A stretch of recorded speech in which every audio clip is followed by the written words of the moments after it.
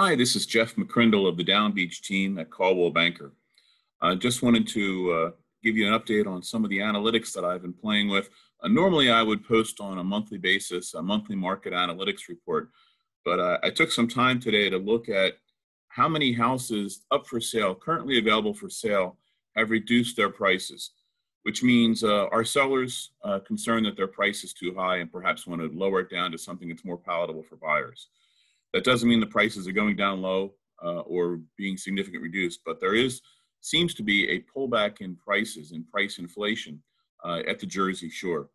And so let me just tell you what I've done in terms of collecting the data. I looked in the multiple listing service for uh, towns from Brigantine down through Ocean City and looked at both single family and condos.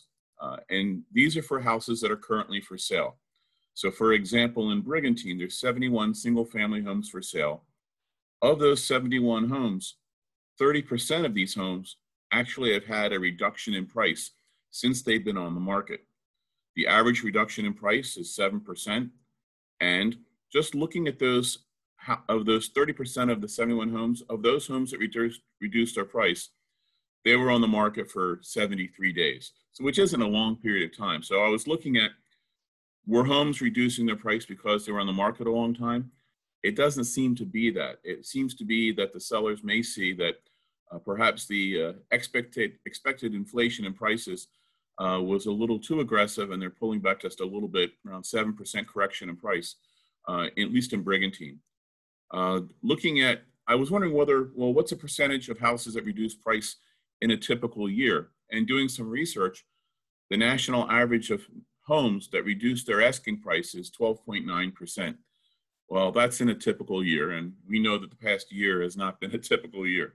So um, I guess uh, just looking at this and trying to understand, well, what is this really saying? Is this is this a correction in the market?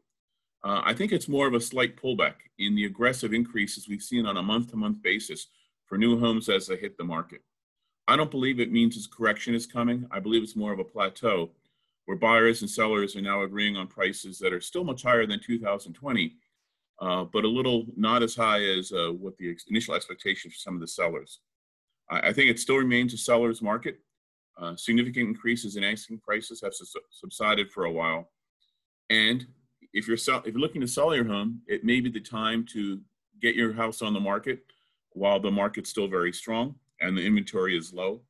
Uh, for buyers, it may be an opportunity to get a house at a, a price that is not as uh, as extremely high priced as they have been in the past few months.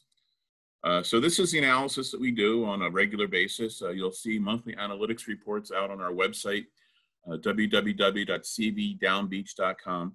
But I want to get, get this out mid-month because I thought it was in interesting and important to note that there has, there has been a, a real tangible correction in prices recently, uh, but the, the supply is still low. So I think it's still a seller's market but uh, information gives you uh, the power to make uh, educated decisions. So I just wanted to get this information out. Uh, any questions, feel free to reach out to us at 609 800 2425, uh, email, or as I said, visit our website, cbdownbeach.com. Have a great day.